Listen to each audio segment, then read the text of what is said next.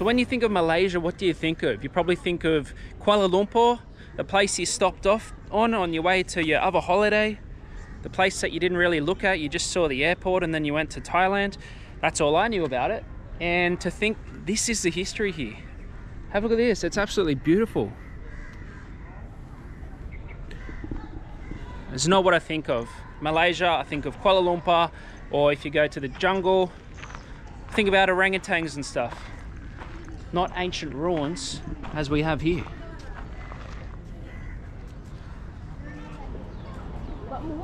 The statue that stands right here is a tribute to the amazing man himself. Do we know who he is? No, because there's no plaque on there for me to read. But we can admire it and we can think about how was his arm amputated? Was it hit by lightning or did they just build it based on him only having half an arm? Well, that is the end of your historical tour here of Malacca. Why? Because I am not a human encyclopedia, but I do my best.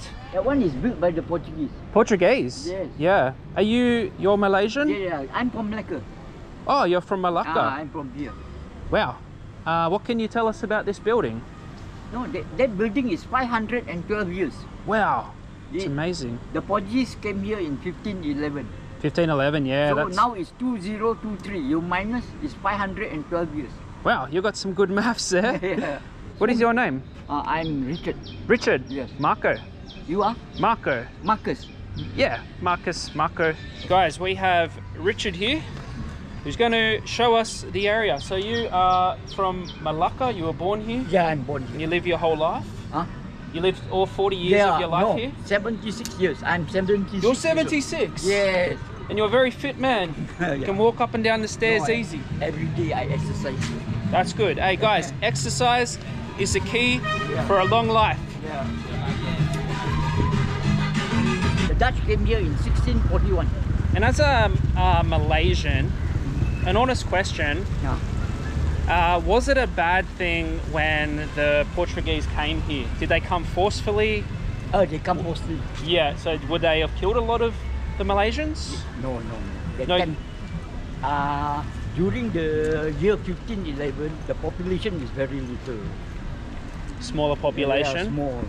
So they kind of came here, colonized it, Yeah, yeah. but it, they just forced their way in. Yeah. Yeah, They, they were here for 130 years. After that, the Dutch came. the Dutch came. Yeah, the Dutch conquered Malacca from the Portuguese. So then the Dutch actually took it off Yeah, the Portuguese. They didn't leave by choice. yeah. Ah, you take river cruise.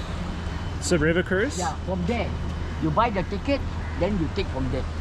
China princess. She married the Sultan of Malacca. So it's a Chinese graveyard and Chinese. Ah, well, yeah, well, and you've got Chinese heritage. yes, yes. Okay. Well, that sounds like the place to go. Okay. You just direct me and we Ah, can okay, come. we can go there. My father that time during the Japanese occupation, yes, my father is still alive. And he fought against the Japanese. Yeah. What year was that? Huh? I think it's 1943 or 44. And what what division of the military was he involved in? Yeah. The, the, the Japanese conquered Malaysia. Oh. Within one week, they came from the north. One week, the whole of Malaysia monopolized by the Japanese. One week. One week. man.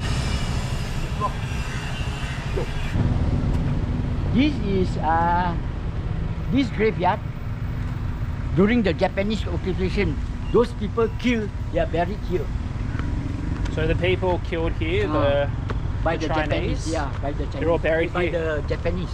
So this is a actual graveyard here. Yeah. Why they, they built this this monument as a remembrance. Remembrance. Tell you what, Richard here, at the age of 76, he's very fit.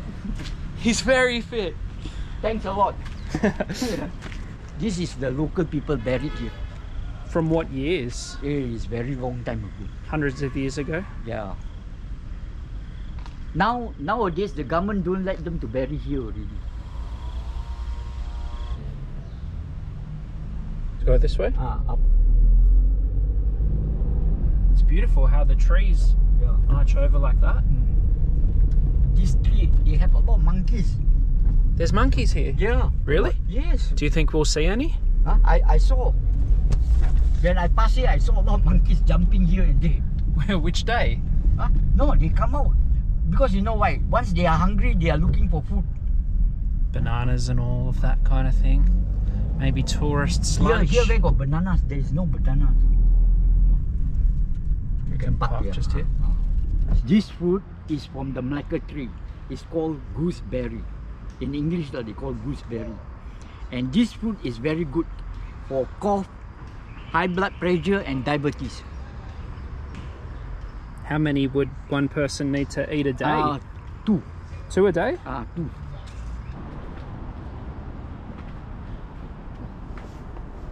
You see, they got the cannons there. You see, see all the cannons. See, you saw.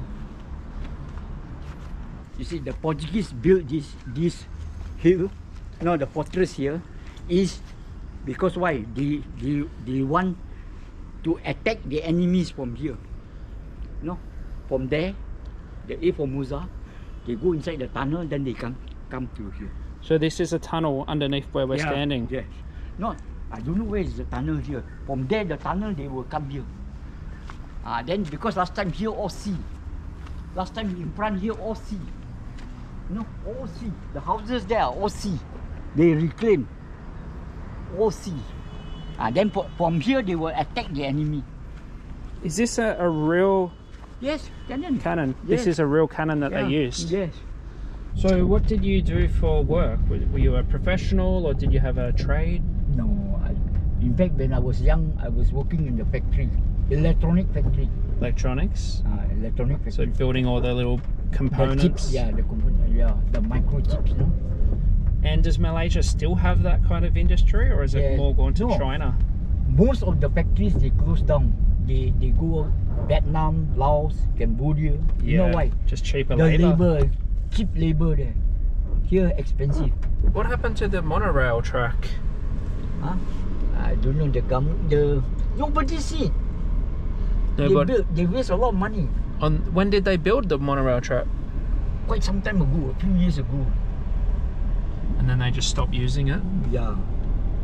Because nobody want to sit. I don't know why. Nobody wanted to use it. Yes, nobody want to use it. Exactly the same. We had one in Sydney going around, and they, in about 2008, they just finished it, disassembled the truck and it was over.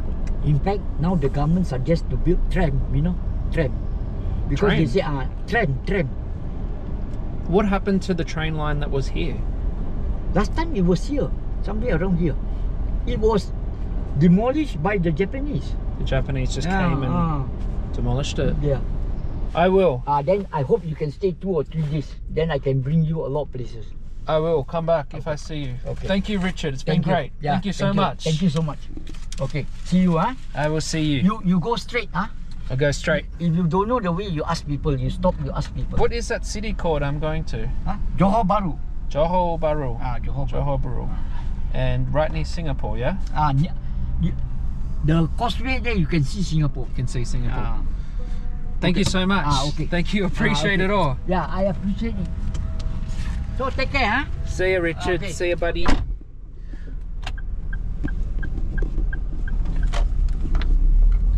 Wow, what an interesting character. 76 years old, fit as a fiddle, great guy. I don't know how I get into contact with these people, but seems every vlog when I come to a new town, I just run into the local character who's happy to be in the video and really helpful. It's great. So, yeah, um, he showed us on the map where I should go. I did want to go to one town, but he said it's boring. So he sent me to a town which is uh, right at the very base of Malaysia where you can actually see Singapore.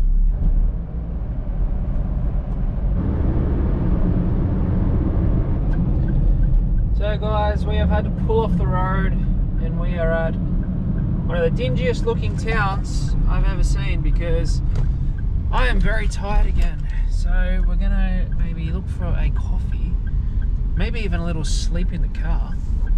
Um, yeah, I don't know what to expect here, but uh, let's see what we can find.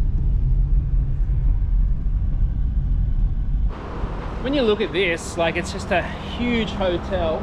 You've got like a gym, a couple of restaurants. But as you look around in this area, there's not that much here. It's just like on the side of a highway. But I really need a nice coffee. I need to stay awake, so there's a place here we might head into, see if they have any. You? Thank you, my friend. Uh, just the iced coffee today. Thanks, brother. Guys, so we have stopped in and we have an iced coffee. Oh, crap. It's actually hot at the bottom, but icy on top, so let that one get cold for a little bit. Awesome little place there. Everyone was so friendly, asking where I was from and all that stuff. But guess how much that iced coffee was? 40 cents. 40 cents for that. Feeling a little bit more alive, but yeah, it's just it just shows like I even thought Kuala Lumpur was quite cheap. Once you get out into these rural areas, so much cheaper. We have just gone under halfway with this 1.3 litre car. Absolutely amazing. We spent absolutely nothing on petrol, really. I think it was about 15 $20 to fill it up. And hey, here we are still going after two days.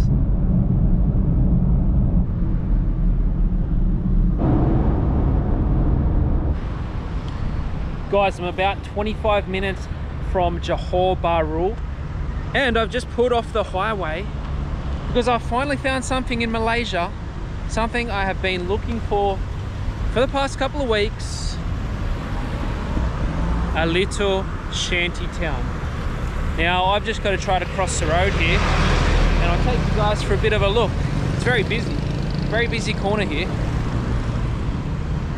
but check out this place so many old cars just piled up here. What have we got here? It's all just being used as scrap. What's this one? That's not even that's not even that old that one. Real old ones are sort of down here. Look at this thing. What's this? So it's like a little laneway through the through the park and into this little establishment some old cars. I actually find this kind of thing really interesting. Just someone's someone's place and over the years they've just decided to collect all different parts of cars and just stash them there. It reminds me of some of those houses in Western Sydney that you see. Look at this old old scooter. Sometimes I think about like what I do with my life and I think how weird it is. Like full time, I'm just out on the road, whether it's in a car that I've hired, on a scooter, public transport, bus, train, just going to all these places, all these countries, all these locations, which goes against the grain of what other people I know do. Everyone wants to go to Croatia, go to the UK, go to all these places where I'm like, let's go to some random Malaysian town and work out why they have spare car parts everywhere. In a town where everyone's looking at me, everyone's waving, being a bit more friendly. And I just come up with some random things to do. At this old beast. Hi, how are you? Everyone's everyone's pretty cool here. But uh, yeah, we will look over this gate and then we'll get out of here. Oh my god, so it's a full it's a full graveyard for cars. He's got everything here.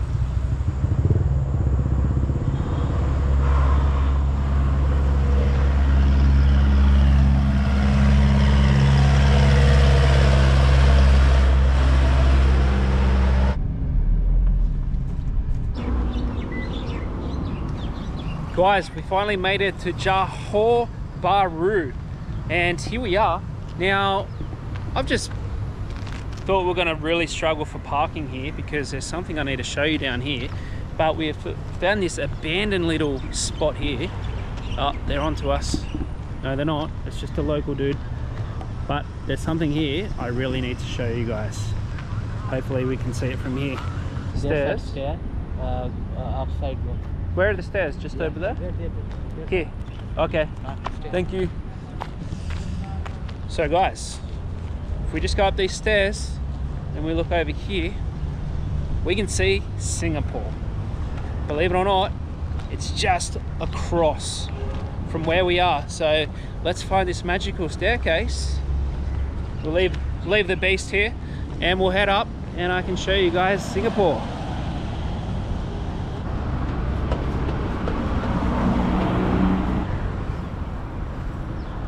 Not sure we're meant to be walking down the, the highway like this, but it is worth it because they did not put a footpath in here. Oh my God. Well, you can see it, but you gotta wait. Two minutes, we'll be there. Guys, here is the moment of truth. We're here in Malaysia and right there, Singapore. There you go. But this absolutely stinks here, really bad. But um, maybe we go over there. Maybe we can spend a couple of hours over there tomorrow. Can you just drive over? Or is there like in immigration and all that? Yeah, of the- Oh, so you, you get a normal stamp and all that? There you go, guys. Malaysia, Singapore. Malaysia, Singapore. Thanks, brother. And uh, there you go. I can't believe how bad it stinks here. Like the worst smell ever. Down here. Look at that. Oh, get down here. So there you go guys, Singapore. Who would have thought it would be so close? So guys, we're gonna do the usual. Find some accommodation, find some food, see if there's any nightlife, and we'll see what happens tomorrow. Explore this city here and uh, maybe even go to Singapore for an hour or so. That is Singapore, straight over there. But we've had to book somewhere about 10 kilometers away because all around here they know they're close to Singapore. The prices three times more expensive. Um, Singapore views maybe? Who knows? But one we're staying in is pretty nice. Don't know what the nightlife is there. Not that we need too much just a bit of food have a bit of a look maybe add something more to the video. But you know, we're just to stay there, get a good sleep, and then tomorrow, I think what we do, we try to drive over the bridge and get into Singapore.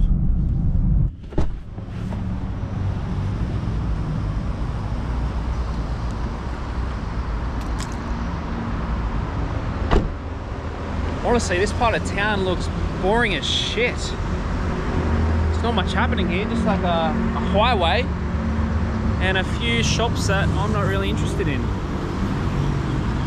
But the hotel has some good reviews, so you know what?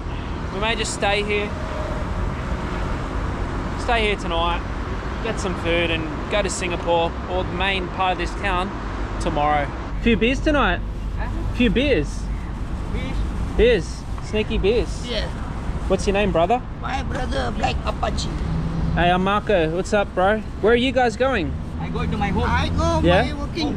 And this is your car. Yes, yes. My What what happened to the mirror? Just now take out from Car crash. Just now take out from uh, And the, offshore, offshore. the steering wheel is pretty cool. Very cool. Hey, do you know much about like this hotel and this area? Friend, It is where, where you from? Australia. Australia. How Yeah. many years did you come here? I just got here today. Today. ah? Yeah. Where you stay? Well, I'm thinking about staying in this hotel here. Yeah, yeah. Yeah. You call me. How I'll call you? How much You call, take my number. You call me. I Okay. Okay. I'll give you my number. Come. No, no. You call me. Miss calling. I if okay. I.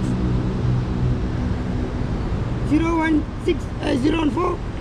Z- zero one six. Let's see if that rings. Okay, thank you, friend. Okay. Nice meet you again. Okay. See ya, boys. I don't know if it's ringing. He just said to call him. I got no idea why. But nice guys anyway. Um, you know what? We're gonna stay here. We're just gonna stay here at the Melon Hotel.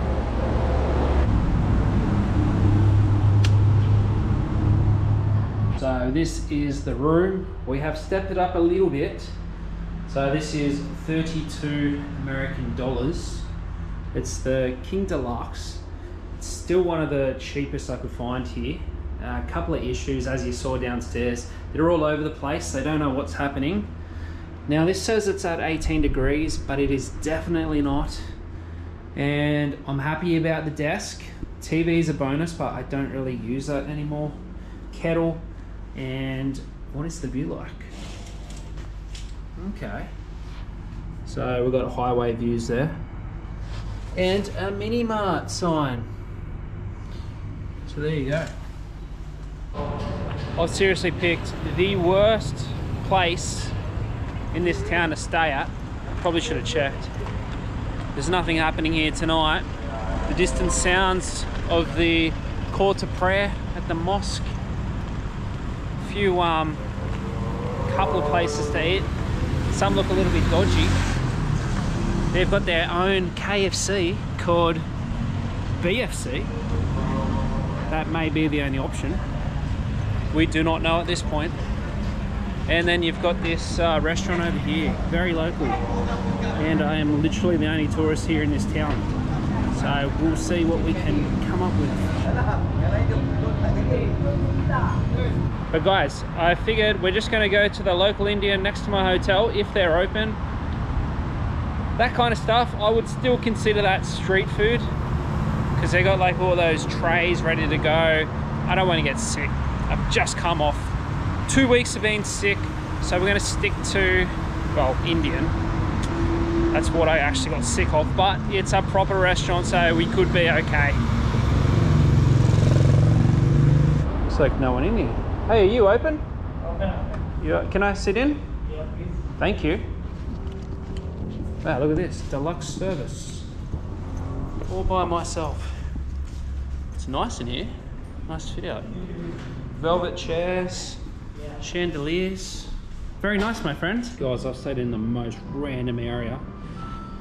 The convenience store next door, they've only got like 25% of their stock, and this is literally the only genuine restaurant that I could find. The um, the other one down there, the fake KFC, no good. So we're just gonna get some Indian food and call it a night. Man, you got to feel for places like this. Complete dining setup. They've probably got four staff on at the moment. No customers. Just me. None at all. Looks like we've got a, a ride guy here, maybe picking something up. But imagine having to pay all pay all that stuff, and we've just got such a quiet night.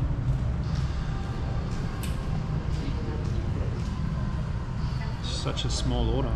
I'm not sure if that's every night, but yeah, you wonder how they do it. Thank you.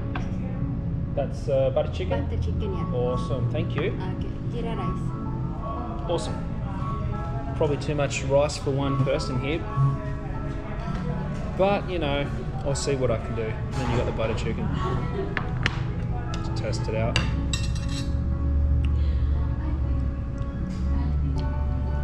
Oh, that's amazing.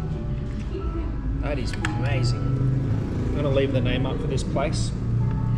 If you're swinging past the area, you probably won't after what I said about it, but if you do, come here.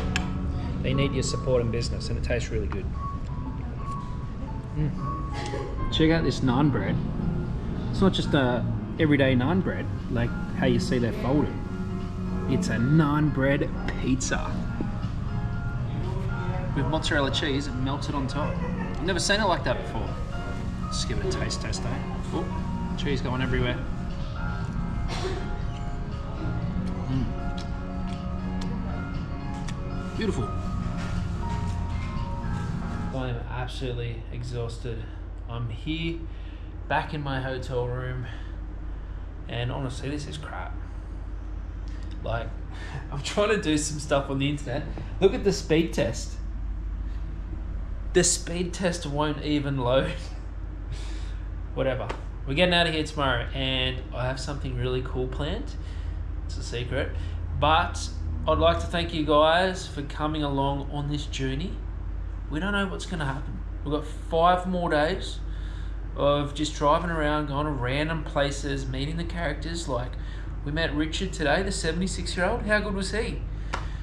Who knows who we're going to meet tomorrow and the next day, but we're going to do it. Thank you for coming along, and uh, yeah, I guess that's all. Good night. Sleep tight. I know I will, and uh, see you guys tomorrow.